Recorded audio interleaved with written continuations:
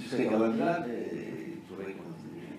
Surtout qu'il y a ça, l'image d'Esther qui, qui nous lance dans un projet, quoi, un magnifique projet. Hein, Où, où êtes-vous passés, les enfants? C'est magnifique, ça. Tous ces mots extraordinaires. Et ces, ces lettres, justement, euh, qui sont comme, moi je dis, comme des acteurs, là, ces pages de qui sont comme des lettres qui s'effeuillent comme ça à travers l'espace et Paris et peut-être à Roubaix.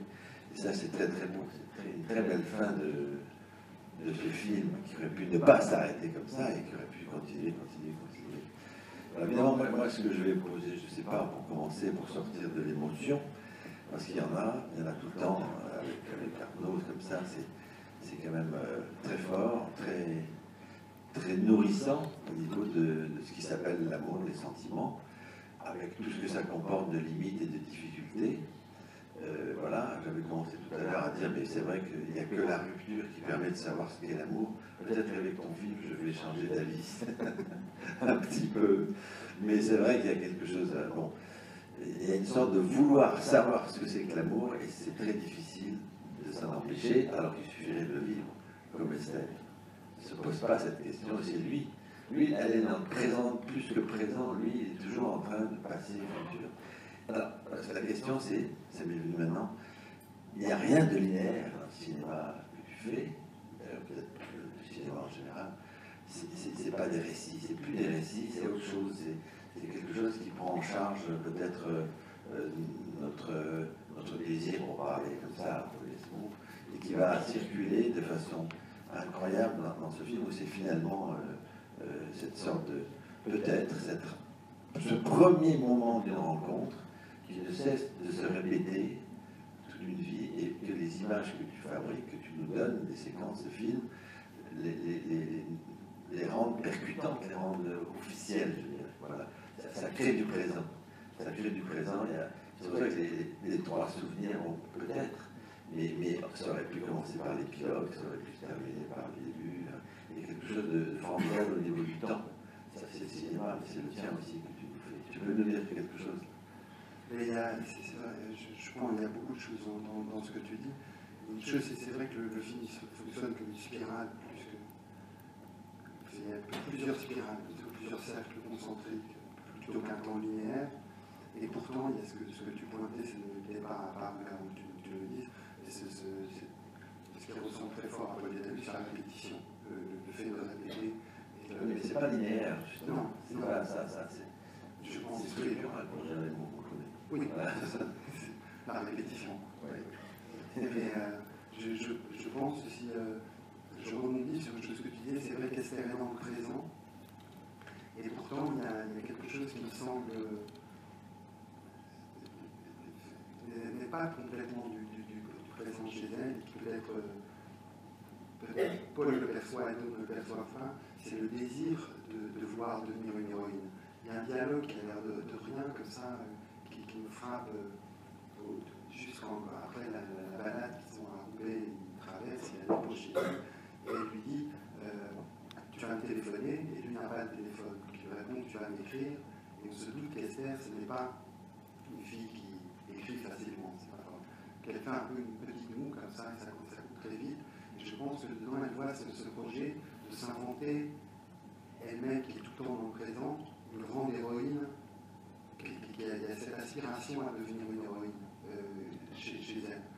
Euh, en même temps, une héroïne, euh, voilà, Thomas Hardy, une héroïne sans qualité. Pas souvent, on veut être aimé pour, pour, des, des accessibles, des, attributs, pas parce qu'on est joli, ou parce qu'on est intelligent, ou parce qu'on est sportif, ou parce que. Elle, elle veut, comme elle le dit Louisier, être exceptionnelle, mais être exceptionnelle tout court, sans attributs. D'un coup, elle dit qu'elle a de la grandeur en elle, et que dans cet amour euh, impossible, séparé, ou épistolaire, il y a la possibilité pour elle de développer l'héroïne qu'elle serait potentiellement. Euh, ce piédestal où il la découvre à la sortie du lycée, où elle est assise sur le trône, comme ça, sur son trône, la, fille de tous les garçons, la fille au trois maris, et il y a cette possibilité de. donc, dans, dans ce sens-là, elle n'est pas complètement du, présent, elle un tout petit peu de l'avenir, et elle s'invente l'héroïne d'elle-même. C'est un mouvement qui me touche chez cette fille qui n'est pas une fille a priori d'homo, qui, qui n'est pas une fille écrite. Par l'écriture, elle peut devenir ça. Mais justement, quand elle fait du grec, là, c'est pas, pas à la fin du film, c'est dans le parcours. Euh, visiblement, euh, c'est là où elle se met à parler, c'est à, à tomber dans le désarroi. Parce qu'elle est seule, mais dans le désarroi quand le temps commence à exister. Ouais. Quand le temps commence à, à tourner normalement. C'est là où elle se fragilise beaucoup, oui. Et voilà, moi j'avais envie de dire aussi. C'est cette phrase qui était dans le, dans le film de, de, de Truffaut, qui, qui, dans deux films de Truffaut, c'est la fin de la série du Mississippi, et, et, euh, et c'est le, le, texte qui est repris dans le, le dernier métro, parce que là, cette fille qui est tout le temps dans le présent, tout d'un coup elle se rend compte que l'amour fait mal. Et, euh, elle en est toute surprise. Elle ne savait pas qu'il y avait un prix à payer pour ça. Et elle, elle découvre oui, que l'amour fait mal. C'est des femmes qui sont dans ce souvent en tout cas. Parce qu'au cinéma, dans la réalité, il y a beaucoup, beaucoup de femmes ici, bravo on ne va pas vous laisser seul. J'ai compris, le film m'a dit qu'il ne fallait pas vous laisser seul. C'est ce que je vous dis. Mais c'est vrai qu'il ne faut pas les laisser seuls, ce genre de femmes. Mais sinon, il n'y aurait pas de film. C'est particulier. Les femmes ont un privilège au cinéma. Je ne pense pas que ce soit le genre de. Je ne suis pas sûr que ce soit complètement explicable. Je pense qu'on peut l'expliquer un peu. Je pense qu'il y a un privilège féminin au cinéma. Privilège féminin je disais qu'il me semblait que les, personnages féminins, les, actrices ont un certain privilège, me semble-t-il, par rapport aux personnages masculins ou aux acteurs. Il me semble que c'est quelque chose que j'ai souvent pensé euh, au, théâtre. Quand je, je, au théâtre, je, vois des acteurs, des êtres humains. Euh, au cinéma, je vois des gens sexuels. C'est vois une femme. Il ne semble pas exactement la même action de, de jouer la comédie quand on est femme que quand on est homme pour une caméra. Oui, en tout cas, ce qui, est, ce qui, est, ce qui est, tout à fait intéressant dans, ton cinéma, c'est justement la manière dont tu filmes les actrices. Hein. Je pensais à euh, cette actrice magnifique, là, et puis quand tu filmes Emmanuel De Vos, hein, dans tes différents films, enfin, tu as une manière particulière de, mettre en scène aussi euh, les actrices. Hein. Je crois qu'il y a quelque chose qui se retrouve au fur et à mesure de, de tes films. J'ai bien, euh, ça m'est venu comme ça, mais j'ai bien buté sur un visage. Euh, le visage de, Louise est, est, très beau, très laid. Il a les deux, je, je trébuche dessus. Une phrase de, de Paul que j'aime bien, c'est quand il dit Tu existes comme une montagne. je, je l'aurais dit différemment, elle existe comme une pierre. Quoi il se cogne dessus. C'est vrai que j'aime bien quand mon œil arrive à se cogner euh, contre un visage. Oui, de même cette toute actrice, cette toute jeune actrice hein, qui a tout ce dialogue autour de la beauté, hein, du fait que justement elle se trouve laide, hein, et la manière dont, dont tu la cadres, justement, où, où, elle apparaît très belle. Il, y a, il, y a, cette espèce de décalage que tu filmes très bien sur, sur le visage. On pense à Lévinas, c'est la manière dont le visage ici représentatif hein, de, de l'être. Oui, c'est vrai qu'on retrouve ça chez, chez, chez l'actrice euh, qui, qui, joue, euh, qui joue Delphine, la sœur de, de, de Paul, la, la, femme. Voilà. Il y a aussi quelque chose que je trouve très intéressant dans, dans le Paul Dédalus qui nous évoque Joyce. Nous, ça nous intéresse évidemment beaucoup hein, comme euh, psychanalyste. Le, on a l'impression qu'il y a un lien avec ce Stéphane Dédalus euh, de Ulysse. Hein, à un moment donné, euh, tu, fais dire d'ailleurs à, la compagne d'Amalric euh, Est-ce que tu es comme Ulysse hein, qui va revenir Donc je trouve qu'il y a quelque chose de très joycien et en même temps on pense à Proust aussi, à, la recherche du temps passé, des amours passés. Et je trouve que, voilà, si tu pouvais nous en dire quelque chose sur peut-être ton, ton, rapport avec euh, cette question-là de Joyce. Euh, sur, sur, Joyce, ça, m'est venu comme ça, ça, m'est venu d'un film précédent que j'avais fait qui, s'appelait euh, Comment je me suis disputé ma vie sexuelle. Et, et c'était d'une part parce qu'il y a un côté comme ça de portrait d'artiste en jeune chien, portrait d'artiste en jeune homme, du, du coup ça voilà, c'est, voilà, je prends un masque, je, j'utilise un mot masque, Stéphane Delus, je, je pensais à Stéphane Le Héros, et il y avait quelque chose comme ça. Mais surtout, il y a quelque chose qui est très, euh, qui est très singulier chez Dédalus et qui est peut-être plus marqué dans ce film aussi que dans Comme je me suis discuté, c'est euh, cette euh, impossibilité, ce scandale avec la mère, appliqué au début du lycée de Stéphane, Stéphane a été dans la, chambre où sa mère mourait. il a refusé de, courber la tête, il a refusé de. Il est dans une, position de refus par rapport à sa vie après. Il est orphelin de mère, il n'arrive plus trop à parler à son père, il croit à deux fois dans, l'église, deux, fois, trois fois, deux fois, je crois. Et, euh, alors, ça, ça, euh, ça, m'avait aidé dans l'écriture pour motoriser cette transgression. Euh, alors, dans le, film, il cesse de protester qui, que peut lui en jouer Il n'arrête pas de dire à tout le monde Non, mais ça ne fait rien, c'est oui. rapport avec l'affaire, ça ne fait rien. Alors, la cinquième fois qu'il le dit, on dit Non, ça ne faisait vraiment rien, tu vois, vraiment. Et cette, cette blessure qu'il a, cette incapacité à aimer sa mère, ou ce péché qu'il a avec, avec, sa mère, le, suicide de sa mère, ce, ce, ce, ce dol qu'il a comme ça, qu'il ne veut pas recouvrir, je l'ai appelé Stephen Dalus de, de, de l'Ulysse de là d'où est, venu son nom. Et toujours, ce n'est pas univoque, évidemment, je, si je suis devant une assemblée savante, alors je, suis, je suis savant, je, suis intimidé, et, euh, mais c'est, bien sûr, je, fais des films pour les, gens qui n'ont pas lu euh, Ulysse. Alors, Dédalus, c'est bien, mais c'est un type un peu perdu. ça, il est dans un détail, il est un peu perdu, il s'appelle Dédalus.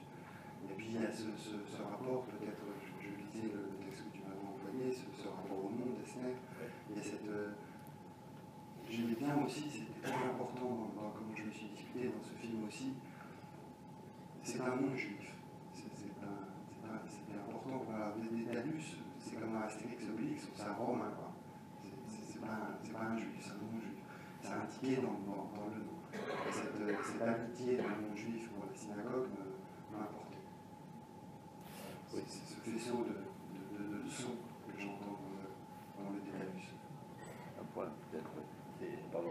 c'est l'ensemble de, de traumas, comme on dit, qui subit, parce que quand même sa mère est violente avec lui, il a la menace d'un couteau, si j'ai bien compris, il se suicide, il reçoit des coups et il dit Je sens rien, tu l'as il ne sent pas les coups, il sent plus, il s'est fait massacrer, il ne pas. Euh, il se tape lui-même dessus pour déguiser ça, c'est un temps qu'il se tape dessus. C'est quand même euh, côté de la violence et du trauma, probablement que ça la structure. Ça crée chez lui une exigence de vérité qui est absolument incroyable. Quoi. Il veut savoir la vérité, la, la, vérité qui le concerne lui. Oui. Et il lâche pas vis-à-vis des copains, tout le monde. Il ne s'est pas dragué, temps, il plaît quand même. Enfin, il ne s'est pas dragué, il ne s'est pas parlé. En même temps, ça, ça, ça, ça, fonctionne. Et quand il reçoit le grand coup de la mort, cette, euh, ce docteur euh, qui, il s'évanouit. Il s'évanouit, là, là, il prend le coup. Là, il le reçoit. Là, il a ça, enfin orphelin, on va dire. C'est ça, oui. Hein c'est curieux, c'est curieux, oui, c'est enfin il perd sa mère. Ce, ce moment-là, enfin, elle est morte. Soudainement. Et la, la, phrase qu'il a après, qui, qui, est énigmatique, il se, il se déguise en Israël. Et il dit cette phrase qui est curieuse, puisqu'il dit ça, un mot de mère, il dit À moi seul, mon frère aîné maintenant. Une phrase qui me frappée par qui me semble avoir un effet de, de vérité très fort.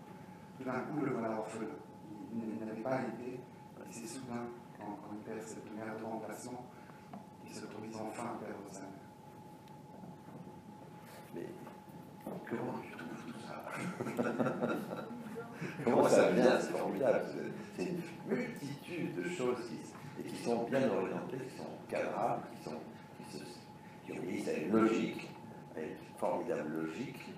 Et l'amour, c'est une logique qui nous dépasse, et c'est bien la question d'ailleurs qui fait que on écrit, on fait des films, on se trompe, etc. On se trompe dans tous les sens Mais, qu'est-ce qui fait que ça continue comme ça et que tu trouves, toi, euh, dans ce film, là et l'autre aussi, cette, logique de film en film, de qu'est-ce que c'est que l'amour et qu'est-ce que c'est que ce machin, qui nous fait finalement vivre mieux, parce que ça, nous met dans notre cœur, ça nous met au clair. Moi, j'ai pensé à toute mon enfance, l'adolescence, surtout l'adolescence, où on a tous eu des coups comme ça, et on, s'en est remis, et ça nous forme, ça nous donne de, des modèles d'aimer, des modèles possibles.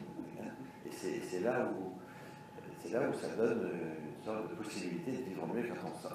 pour ça que je dis, ce film, c'est dommage qu'il se termine. Ça pourrait continuer comme une analyse qui ne se termine pas.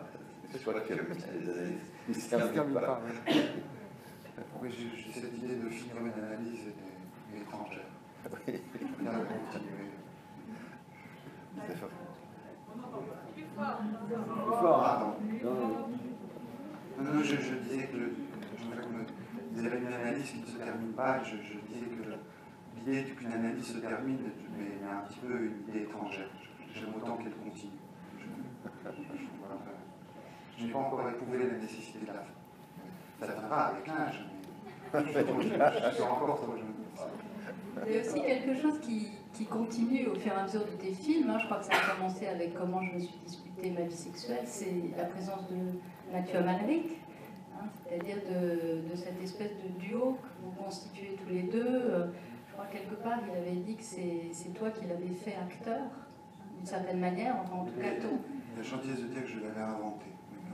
Voilà, hein, je crois qu'il l'a dit plusieurs fois, et du coup, c'est très important hein, d'avoir dit quelque chose comme ça. C'est votre complicité entre cet acteur qui est Mathieu Amalric et, toi, le, metteur en scène, je crois que c'est quelque chose qu'on retrouve aussi au fur et à mesure de, tous tes films.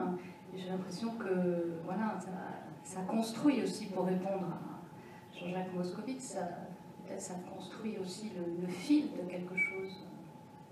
C'est curieux, cette, cette amitié d'art que, je peux, j'ai la chance d'avoir avec Mathieu, mais quelque chose qui ne cesse de, m'étonner. Euh, d'abord, je, pense que c'est un, acteur immense, vraiment immense. Euh, je peux penser à, Trintignant, bien sûr, mais je, penserai surtout à Mastroianni. Euh, il, y a une évidence. Alors, notre amitié, notre travail est nourri aussi du fait qu'il est lui-même cinéaste. Alors il y a un vertige à ne plus savoir bien. Euh, ce n'est pas. Euh, j'ai beaucoup d'admiration et j'étais obligé d'y penser. Euh, je, citais Truffaut pour la série des douanières, mais notre, notre amitié ne, fonctionne pas comme ça. Il n'y a pas de rapport pédagogique. Mathieu disait que je.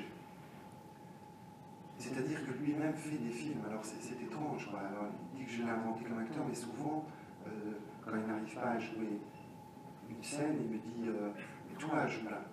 il se met derrière la caméra, alors, je, alors dirigé par lui, j'arrive à faire mon douille. Donc on ne sait plus bien, entre lui et moi, lequel de nous deux imite l'autre. Alors là, c'était curieux parce que ça passait avec Quentin Dolmer, le jeune acteur qui joue euh, Paul, donc dans, cette histoire avec Esther. Parce que plusieurs spectateurs nous faisaient remarquer qu'ils ont la même élocution, Mathieu et Dolmer. Alors les, journalistes nous demandaient, mais est-ce que vous avez travaillé ensemble l'élocution pour qu'il imite Mathieu, etc. Imiter Mathieu, quelle. Et, euh, en fait, c'est passé par moi. Euh, C'est-à-dire que quand il me regardait, je, disais à Quentin, accroche-toi à moi. Euh, alors peut-être imitait-il moi. Moi, quand je joue, j'ai tendance à imiter Mathieu. Je ne sais plus si je joue moi-même ou si je joue Mathieu. Mathieu proteste que lui joue pas Galus, donc limite une tierce personne. Mais la tierce, c'est un jeu de ferret qui, qui, circule comme ça, et qui fait que ce n'est jamais hiérarchique. Euh, très, du coup, c'est très heureux. Ça, se voit, c'est très heureux. Il y a du double à fond. À fond. Oui. Ben, j'ai laissé sur terre parce que tu dis que euh, Truffaut, quoi. C'est-à-dire que quand, on aime le cinéma depuis longtemps, le cinéma français, c'est vrai qu'il s'est passé quelque chose, une analyse qui ne se finit pas, qui aurait peut-être euh, commencé en voyant des films de Truffaut, je ne sais pas, mais c'est tellement lourd, c'est tellement euh, une transfiguration de Marie-France quelque part, c'est-à-dire, euh, et, pourtant, c'est pas une affinité ni de lieu, ni de, mais cette situation, cette relation entre Paul et, Esther, euh, moi j'ai pensé tout le temps à Marie-France Bizier la première fois que je l'ai vu. Ça revenait. Et j'allais pas voir des films avec cette référence de femmes viennent. Et, le voyage, le non juif, comme tu dis, cette deuxième partie, comme la Russie, qui est, cette partie-là, je n'ai pas pu m'empêcher de penser à Serge Danet. Euh, la tête de ton personnage, les cartes postales qu'il envoyait à tout le monde, les voyages, enfin cet exil, cet exode dont Jean-Jacques parle d'ailleurs, dans son texte euh, d'avant-propos, et nos Arcadies, parce que nous avons parlé du sous-titre. Et voilà, alors est-ce qu'il y a un lien avec ça? Est-ce qu'il y a euh, quelque chose dans, dans ce personnage Paul qui a peut-être des affinités avec toi, si tu veux nous en dire quelque chose si, euh, Comme dans Cinéma Truffaut, est-ce qu'il n'y a pas une une autobiographie quelque part qui t'inspire, si ce n'est avec euh, la fiction. Voilà. Il y a beaucoup de questions en quoi c'est le sous-titre. euh, cette partie la Russie l'exil, l'exode, euh, en lien avec euh, l'amour. Et puis, euh, euh, moi je trouve que c'est une magie exceptionnelle avec ce, ce groupe que tu as constitué, cette troupe, un petit peu fonctionne euh, aussi admirablement bien, qui n'est pas évident, qui est aussi une magie de casting et de direction d'acteur, même si avec Mathieu vous interposez. Voilà, je veux surtout dire euh, l'admiration que j'ai pour ce film, euh, sa magie, et c'est de ma jeunesse, je te dis, euh, c'est autobiographique, mais en même temps c'est notre jeunesse. C'est-à-dire que c'est ça que j'ai infiniment là-dedans, moi. Euh, avec toutes les marges, bien sûr, mais d'un parcours d'un homme, euh, certainement. voilà il me plaisait de, de, de, jouer entre le, de ma jeunesse et nos Arcadies. De, dire, euh, c'est le, pour répondre à, à, la première et à la troisième, je répondrai à la seconde ensuite, euh, la deuxième ensuite, l'usage de l'usage de l'autobiographie, mais c'est un mot qui est, qui est, bien maladroit, c'est pour raconter votre jeunesse, la vôtre que je raconte, c'est la mienne. Donc c'est nos Arcadies, c'est les Arcadies qu'on a en partage. Alors ça me plaisait, l'Arcadie, c'est cette Grèce rêvée comme ça que, que, le, personnage, que, que, le personnage a rétrospectivement, Mathieu Madrid, disant, voilà, ce fut, ce fut l'Arcadie, et puis c'est l'Arcadie plutôt âpre, euh, la chute du mur. Le, le, la, la, chute du mur. Est-ce que c'était une Arcadie Alors, il y a ce, ça, ça serait la deuxième question que tu posais sur la partie russe. Comme je le savais que je racontais, il y a trois histoires, plus une quatrième, celle de Mathieu, il y a quatre histoires différentes, trois souvenirs à Mathieu qui, est, au milieu de tout ça. J'avais besoin d'un motif euh, presque musical qui vous permette de suivre, ou d'une chanson qui, qui, traverse le film. Et m'est venue cette chanson, cette chanson russe, et qui avait trait avec la, chanson de l'exil. Je veux dire par là qu'il va donc chez sa, grand-tante, il s'enfuit de, chez sa mère, et c'est son premier exil. Alors c'est un exil très modeste, mettons que c'est deux pâtés de maison, enfin c'est quand même important, c'est assez important pour que son, frère lui dise quand est-ce que tu rentres à la maison, il dit pas tant que maman sera pas tant qu'elle sera en c'est pas possible. Et alors là-bas, la compagne de sa grand-mère lui donne des leçons de russe, bizarre, raconte des histoires, Staline, des choses. Et puis plus tard, la deuxième histoire, c'est ce voyage en URSS où il va aller donner ses, papiers et de l'argent. C'est ce deuxième voyage qui est comme un deuxième petit exil. Le troisième exil qui, vient, qui peut un peu. Il, est à, à Paris et il ne se vit pas comme parisien, il se vit comme exilé euh, à Paris. C'est un Roubaisien en, en exil. D'ailleurs, ils en souffrent, Esther en souffre, et, ça, en fait encore un autre. Et il voit effectivement la chute du mur. Tu parlais de, Serge Danet, je, pense à, un mot de, de, Danet qui me touche très fort. C'est quand il disait euh, c'est des choses qui se règlent très vite dès la cour de récréation, disait-il. Il y a des gens qui refusent la société, qui acceptent le monde et qui refusent la société. Alors lui regarde de la télévision, il voit la chute du mur de Berlin, tout le monde regarde ça, et lui va au bowling. Coupe. Il va au bowling chercher Esther. Il refuse la société. Mais pourtant, ce refus de la société le met au monde, d'un certain côté. Et plus tard encore, il partira au Tadjikistan, il se retrouve étrangement à regarder Helsinki sur une télé dans un, un bar au Tadjikistan. Et du coup, ça crée comme une espèce de motif russe musical qui unissait toutes ces parties, et puis le début au Tadjikistan. Et quoi que fasse le personnage, il se retrouve tout le temps relancé dans cette URSS qui ne cesse de s'effondrer. Alors ça me semblait créer une, une chanson, quelque chose de musical. Absolument. Excusez-moi, c'était trop long. C'est passionnant.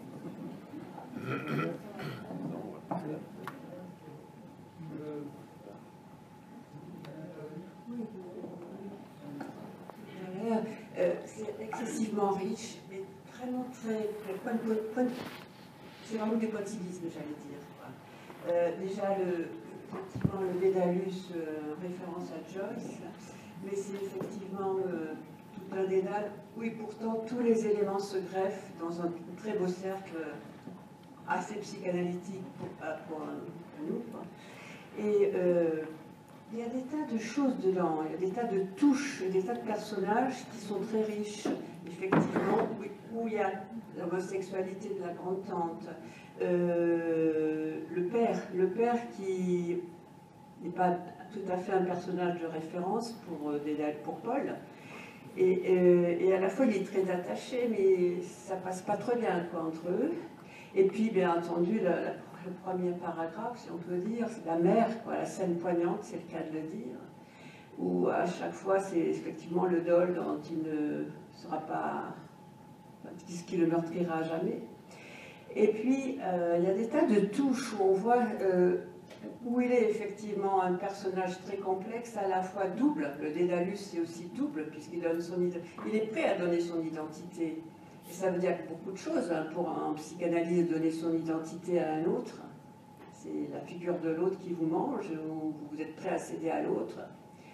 Et c'est qui donne aussi une définition aussi de l'amour, parce que moi je vois la définition de l'amour qu'on retrouve en psychanalyse, à savoir quand euh, l'héroïne dit euh, Tu me dis exceptionnel, alors tu m'aimes c'est qui est une définition de l'amour, parce que pour Freud aussi, mais pour Lacan, surtout pour Freud, euh, l'amour, c'est du narcissisme, c'est essentiellement ça.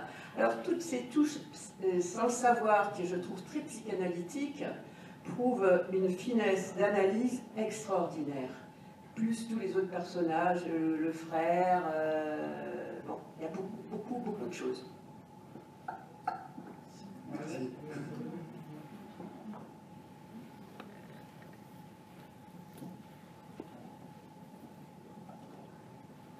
bravo pour la direction d'acteur qui est vraiment impressionnante. Et je voulais juste dire une petite chose sur la gémellité, puisqu'en fait il parle de son jumeau, et, euh, qui n'est pas son jumeau, mais qui est son jumeau. Et c'est aussi un peu euh, entre vous et euh, Mathieu Amalric. Donc il y a, voilà, et la gémellité, elle, passe aussi entre la sœur et Esther. Il y a beaucoup de doubles comme ça qui, se reflètent les uns dans les autres et qui font comme euh, au bowling, ça, la balle part et puis ça rebondit, ça rebondit, ça rebondit. Je n'avais pas. Vous me faites entendre le, double avec Mathieu. Je, ne l'avais pas entendu, mais ça me frappe d'évidence quand, quand, vous le dites. Je vous en remercie.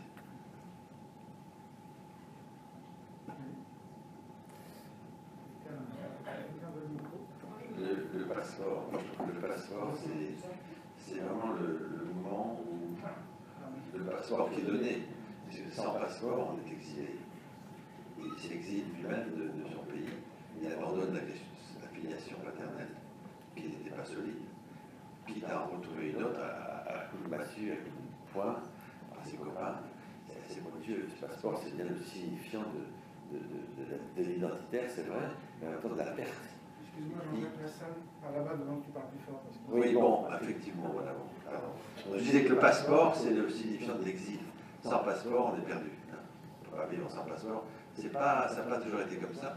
C'est en particulier pour l'URSS. Je vais à Saint-Pétersbourg euh, dans 15 jours. Je ne peux pas savoir, certains savent, ce qu'il faut faire comme papier pour, avoir le droit de passer là-bas.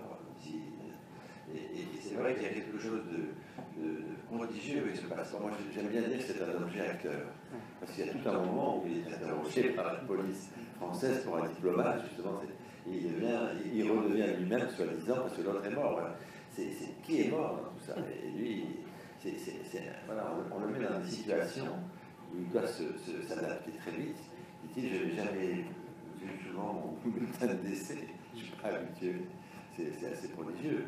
C'est effectivement un latin, comme tu dis, des anus qui donne ça, comme tu dis, à, un juif qui a besoin de partir de là parce qu'il est persécuté. et, etc. Et c'est vrai qu'il y a quelque chose d'une rencontre euh, juif non juif, euh, latin non latin, peut-être pour parler vite, et, le mot passeport intervient tout à fait, le mot, l'objet passeport. L'objet passeport. Comment ça, truc, le passeport Ben, c'est- oui, cet, ob- cet objet, comme tu, ces objets que tu décris dans, dans ton livre, ces objets de cinéma, quand tout d'un coup un objet arrive à, faire- à scintiller de, de vérité, on ne sait pas bien lequel, c'est effectivement, que- comme vous disiez, le, il n'est pas assez sur le. Enfin, il est prêt à s'abandonner lui-même, à se perdre lui-même. euh, son, son- son copain Mark Zuckerberg ne fait pas ça. Lui, il le fait. Il, il y a là sûrement quelque chose avec son père, on, se, Ouais. refus son identité, ou le haine de son pays, ou voilà. peu de choses, et d'où il vient, quoi. Il le donne, ça, il, il le, il le jette aux orties, et alors après, il se retrouve le soir de sa vie, et puis il se dit, c'est lequel des deux qui est mort, quoi. Il et ça le remet en vie. C'est ça qui le re- replonge dans ses souvenirs, c'est de retrouver ce passeport qui était donné, euh, qui était donné il y a longtemps.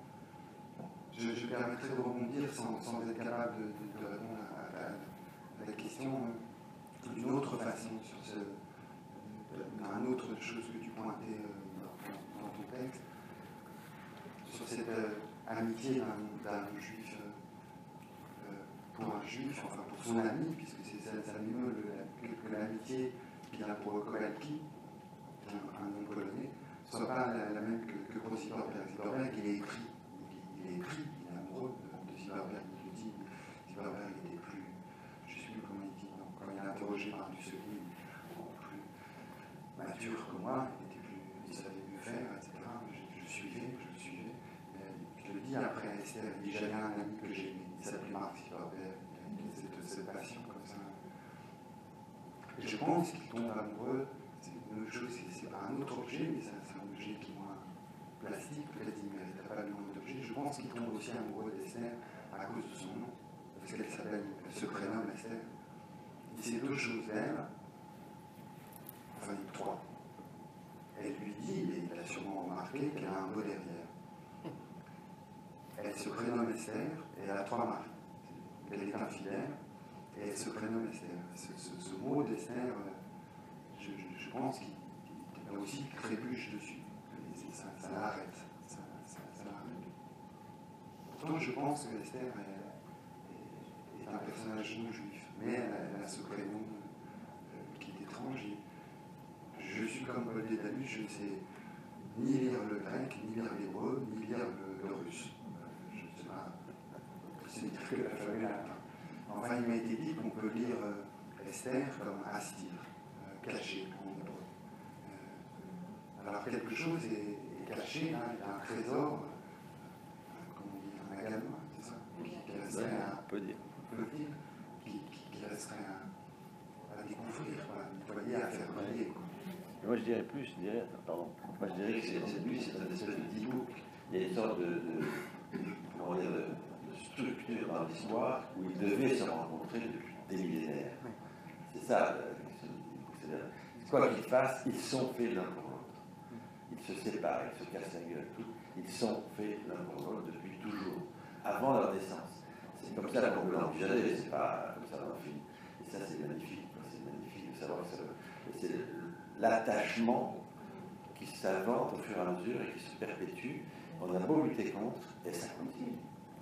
Et alors, c'est elle qui, en l'embrassant, elle le goûte, ça peut dire, et elle, lui dit, mais non, c'est bien toi, je sais très bien que c'est toi. Elle, elle lui redonne son identité, au moins corporelle, c'est c'est magnifique. Oui. Oui, moi ce que je voulais dire, c'est votre relation à Mathieu Almari, Amalric qui m'intrigue beaucoup dans votre travail. Et euh, jusqu'à quel point il vous inspire, parce que moi j'ai vu tout votre travail, tout votre cinéma, et je trouve ça incroyable, parce que c'est lui qui détermine votre, votre écriture, votre, votre, le, le cheminement de, ce- de son- de votre travail. Je trouve ça magique, la relation que vous avez avec cet acteur. Jusqu'à jusqu'à peu de temps, euh, jusqu'à peu de temps, je, je n'écris pas, je, je ne sais pas écrire pour des acteurs. J'écris des choses bizarres, jusqu'à peu de temps. Euh, je sais que sur ce film-là, par exemple, ça, ça se terminait avec deux scènes Mais après, quand on fabrique un film, on va le proposer à l'avance sur recette, des, des choses comme ça, il y a des commissions, des, gens de, télévision qui nous posent des questions. Et les deux scènes étaient, semblaient infilmables. Les deux scènes font quatre pages chacune, l'interminable engueulade avec Kovalki et la lettre qu'il n'enverra jamais à Kovalki où il parle bon an, mal an, avoir été bien pour elle. Alors, il y avait deux textes très longs comme ça. Je me disais, mais vous allez faire comment? euh, Je disais, mais je sais pas, mais comme c'est Amalric qui joue le rôle, logiquement, on devrait trouver un moment ou un autre. On va trouver.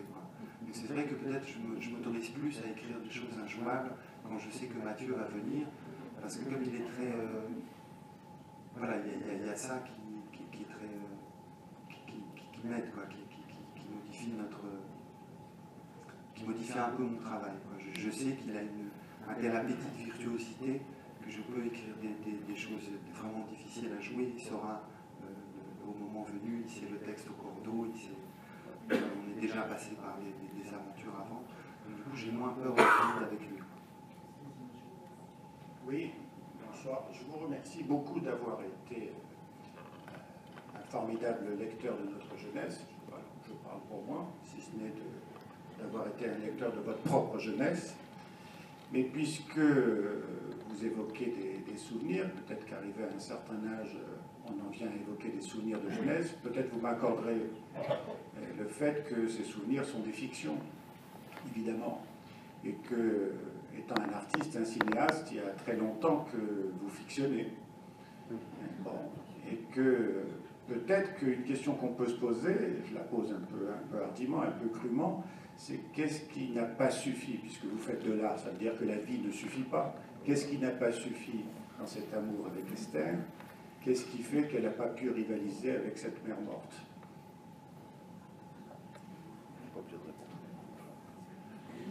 La question est tellement belle qu'elle se suffit. Je, je, vais, je, vais, essayer de vous répondre, je vais démériter. Euh, je...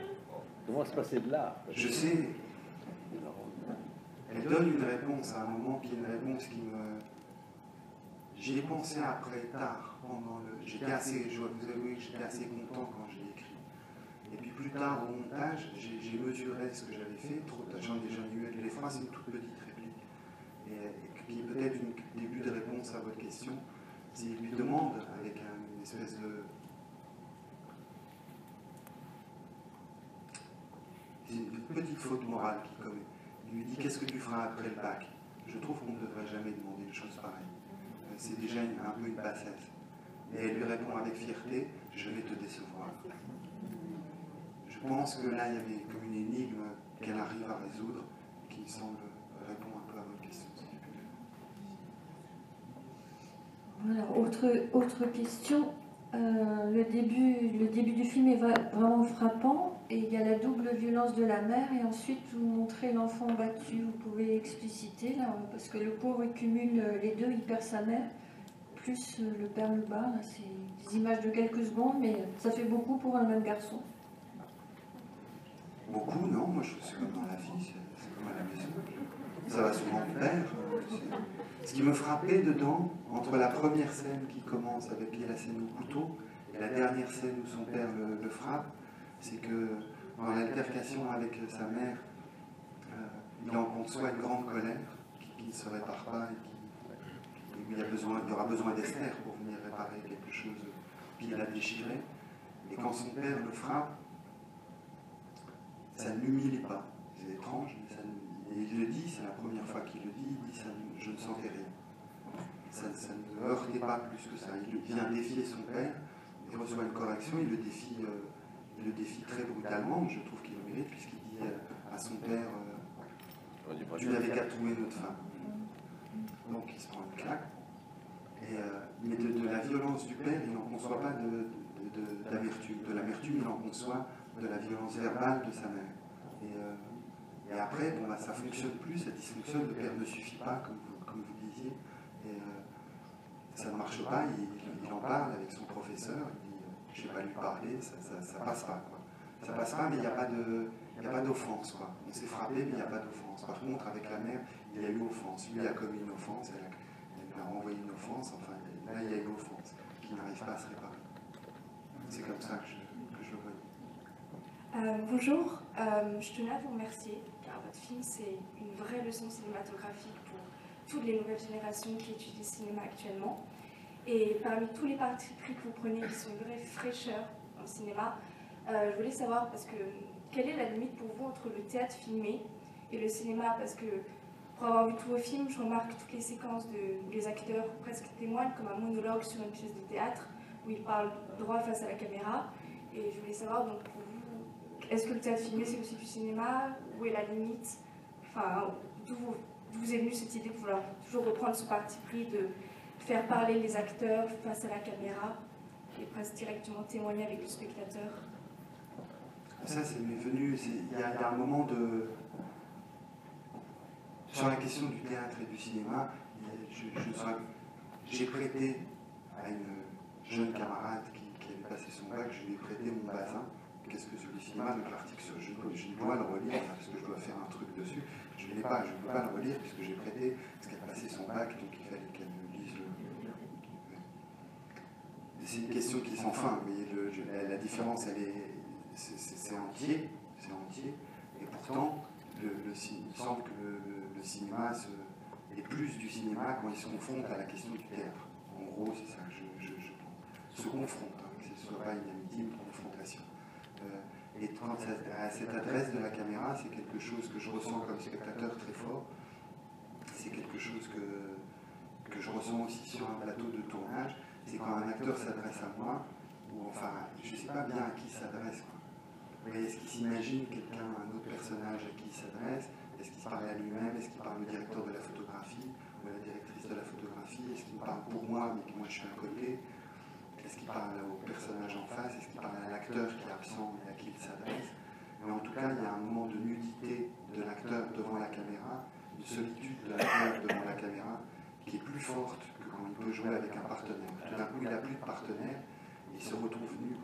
Et euh, cet embarras, et pour moi, il y a un, frémissement extrêmement cinématographique dans, dans cette adresse à la caméra, qui est très différent pour moi de l'adresse à la salle, euh, au théâtre, euh, qui, qui- qui me semble une convention.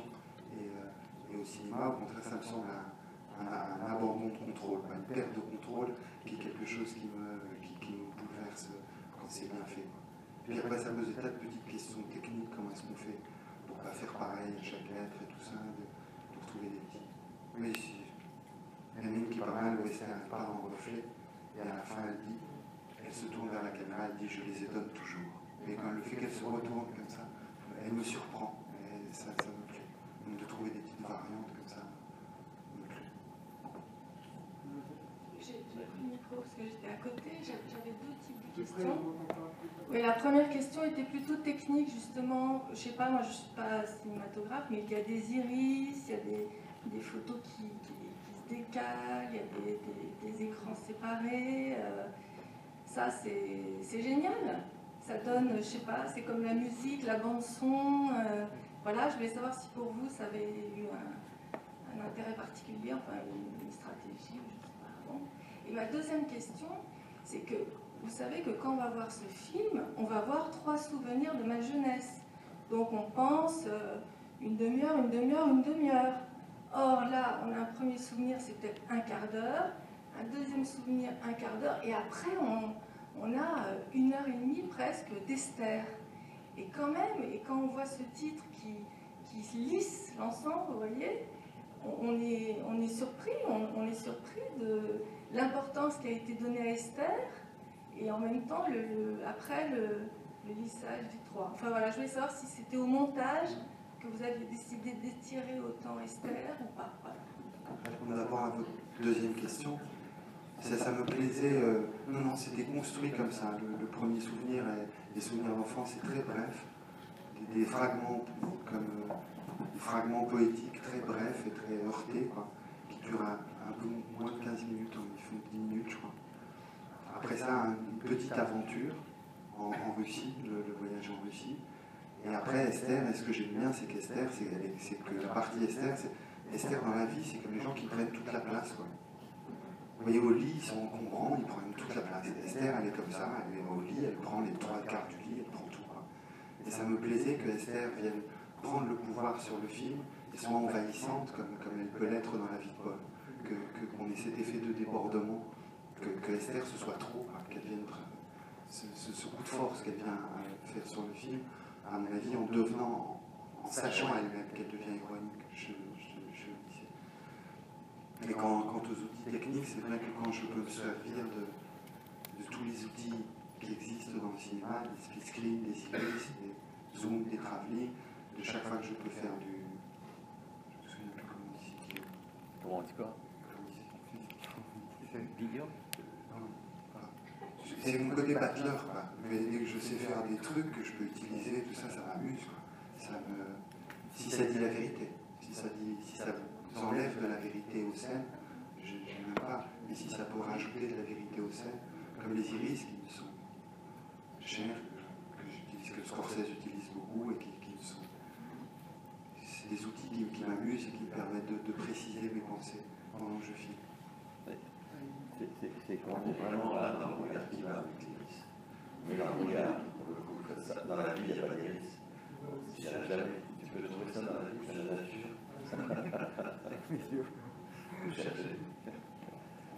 Bonsoir et euh, merci aussi pour, pour, ce film qui m'a autant ému euh, que mon père à ma gauche.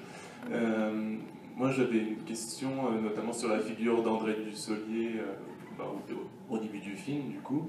Et je me demandais ce que euh, André Dussolier représentait, sinon aussi une figure paternelle, vu que de surcroît, il ne veut pas s'identifier à Mathieu Amalric.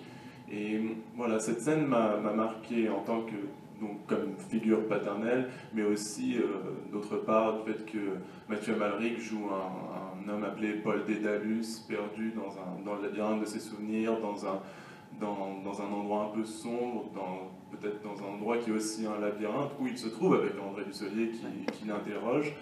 Et euh, voilà, je voulais savoir ce que, comment vous, aviez vu André Dussolier, comment vous aviez écrit son rôle et, ce que vous en pensez?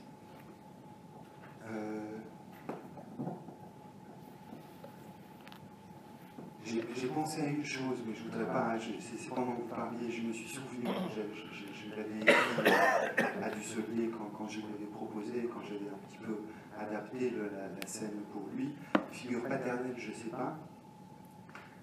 Mais c'est un entretien qui n'est, qui plus réaliste quand il est perdu dans ce dédale, dans ce couloir où on le fout, il, devient trop violent, c'est une espèce de bunker terrifiant où il rentre dans un cauchemar.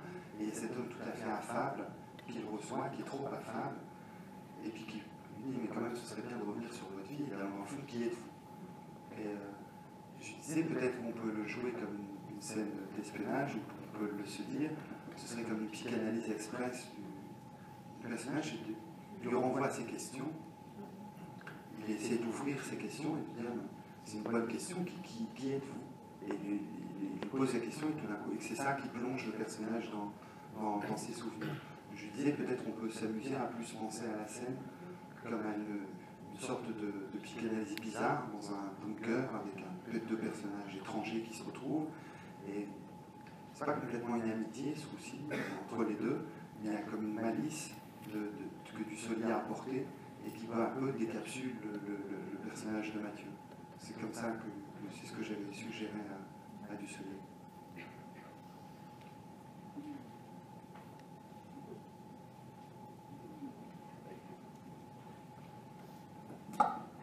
J'ai noté aussi quelque chose qui m'a semblé intéressant lorsque Paul se, se noircit le visage.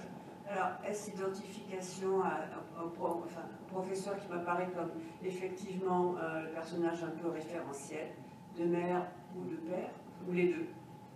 Et puis, pourquoi euh, cette séquence de Réfusnik Est-ce qu'encore, est-ce que c'est encore une identification à, aux juifs donc, ce qui voudrait dire qu'à chaque fois, il s'identifie à un opprimé, ce qui est intéressant aussi.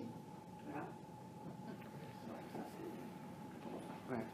Il s'identifie à la question de l'identité juif, qui est une identité solide.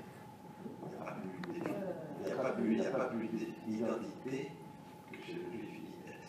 La transparentalité, la transparentalité dans, la culture juive est absolument l'essentiel. solide, surtout dans, le moment de, en Russie, c'était pas tellement solide. Non, non, mais je ne dis pas au niveau politique, au niveau structural, l'identité juive est une, chose qui est, relativement bien cadrable, quoi, qui, cadre.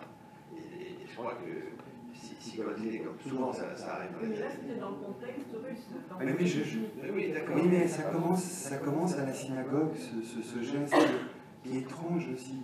Ce qu'il va, et puis quand c'est la, la, prière des Kohendim, alors il n'y a pas de. Déjà, il y a le, il y a le, le livre de prière, il y a un tout petit regard descend dans un plan large, on voit à peine, il y a un petit regard, et là encore il se retrouve devant des caractères qu'il ne peut pas lire, il ne peut pas dire la prière, et puis arrive la prière des, des et donc tout le monde met son talit, et lui n'a pas de talit.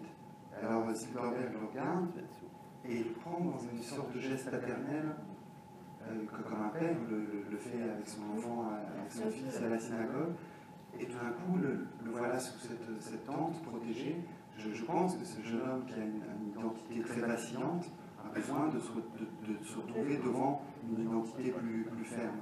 C'est comme ça que je. pensé à ça pour ça Oui. Ah bon Mais souvent, souvent euh, il est dans ces films, euh, ce moment où, fantasmé ou réel, où la, où la question de l'identité juive est posée. C'est très fréquent. Comme la médecine, Là, il y a quelqu'un qui avait dit qu'il y a un cadavre. C'est à tous les coups, il y en a. Et alors, le, personnage de Noir alors. Moi, je, pensais c'était un. Ben, là, je, voyais une, double. Enfin, moi, je voyais en le filmant hein, deux images. S'il ne s'habite pas, il se met en deuil. Et enfin, il se, il peint. Il se peint, il se met en Israël, il se peint de, la visage du de, de, la couleur du visage aimé. Il prend le visage aimé avec lui.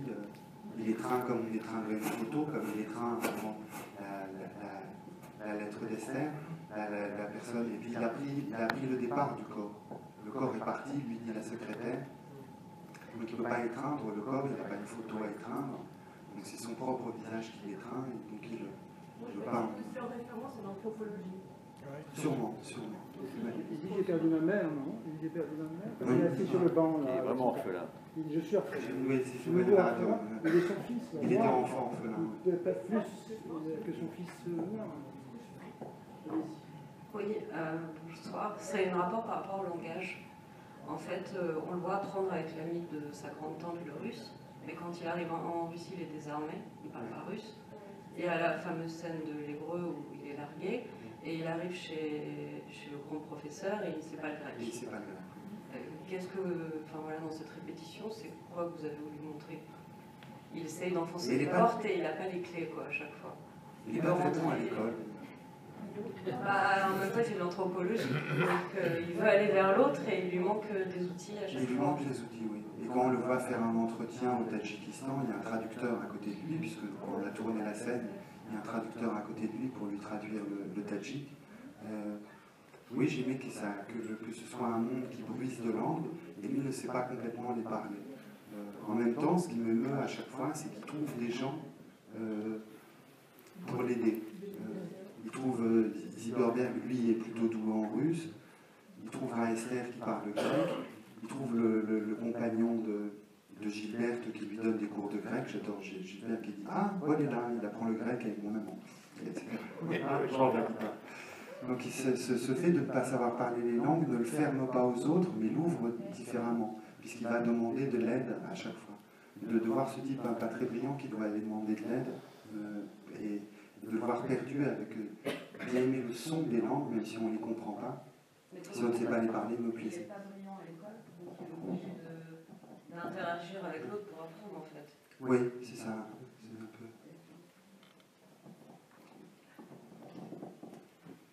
Je crois qu'on va, on invitera Arnaud. On ne mettra pas en débat, on mettra masterclass. oui, parce que tu nous amènes vraiment euh, au cœur de la création du film et merci beaucoup. Voilà. Juste, euh, juste un petit mot. Je, je dirais que votre film est littéraire. La, la, l'écriture est absolument euh, travaillée, euh, super. Juste un petit mot par rapport à, à l'écriture au sens euh, de la main qui écrit le cahier. parce que c'est. Je ferais, je dirais, un défaut, j'ai un défaut, je me blâme, mais du coup j'ai une qualité. C'est je suis littéraire, hélas, mais d'un autre côté je suis assez romanesque. Mais ça